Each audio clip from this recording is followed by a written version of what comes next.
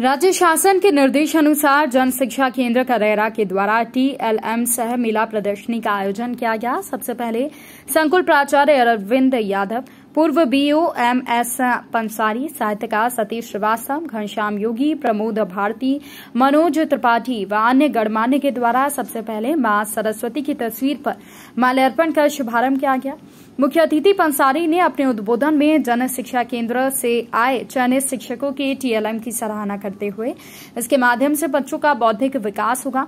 सतीश श्रीवास्तव ने कहा कि हमें बच्चों की रटंट शिक्षा से हटकर टीएलएम के माध्यम से प्रैक्टिकल ज्ञान प्राप्त होगा। घनश्याम योगी और प्रमोद भारती के द्वारा गीतों के माध्यम से संदेश दिया गया। मनोज त्रिपाठी व संकुल प्राचार्य अरविंद यादव ने शिक्षा के इस नवाचार की सराहना करते हुए सभी शिक्षक गण से सम्मिलित करें सभी अतिथियों एवं निर्णायक कमेटी के सदस्य सुल्तान बेग, भगवान सिंह यादव, धर्मेंद्र जैन, नीरज गुप्ता ओम प्रकाश वर्मा, गजेंद्र लोधी के साथ संजेश जैन, ब्रजमोहन वंशकार, चाँद खान के द्वारा काउंटर पर जाकर टीएलएम का मुआयना किया गया। हिंदी, गणित और विज्ञान विषय के तीन टीएलएम का चयन किया गया, जो कि आगामी प्रदर्शनी में भाग लेंगे। कार्यक्रम का संचालन धर्मेंद्र जैन, बीएससी एवं आभार प्रदर्शन अशोक बेदोरिया के द्वारा किया गया।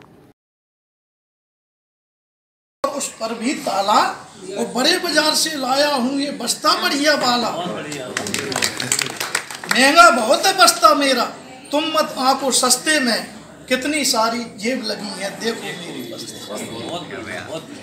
अब ये सारी कॉपी और किताबें बन जाती आसानी से और वाटर प्रूफ बना है बस्ता, कुछ बिगड़े ना पानी से। अमूल समय हमको दिया है। मैं सभी को आभार प्रकट करता हूँ।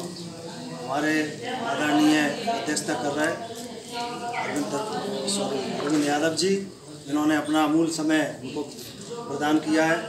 परम श्रद्धे अंसारी जी, पूर्व बी साहब, अपना अमूल समय हमें दिया है। आदरणीय, जो जाना पहुँचे रवि, ऐसे कभी आदरणीय श्रीवास्तव जी आदरणीय योगी जी, मेरे गुरु परम सद्य योगी जी, भारती जी, आदरणीय त्रिपाठी जी, सभी का हमारा जनपद शिक्षक बहुत बहुत आभारी है।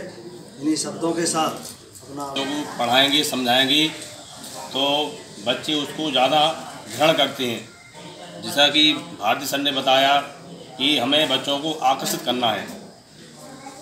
हम बच्चों को सिर्फ़ टीएलएम के द्वारा ही आकर्षित कर सकते हैं। हमने भी सभी शिक्षक साथियों ने डीएड बीएड किया है और डीएड बीएड में भी पूरी साल भर में यही पढ़ते हैं कि हमें बच्चों को टीएलएम के द्वारा पढ़ाना चाहिए।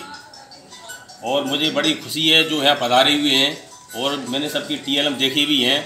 बहुत अच्छे टीएलएम बनाए हैं आप लोगों ने और इनके द्वारा हम बच्चों को शिक्षा देंगे तो निश्चित ही बच्चे बहुत अच्छा सीखेंगे। और उनमें प्रैक्टिकल ज्ञान आएगा। बिना प्रैक्टिकल ज्ञान के बच्चे नहीं सीखते हैं। इसलिए हम भी जानते हैं कि बच्चों को जो बच्चे देख के और सुन के सीखते हैं, वो रट के नहीं सीखते। जैसा कि आदरणीय श्रीवास्तव जी ने कहानी सुनाई थी, रटने वाली तो हम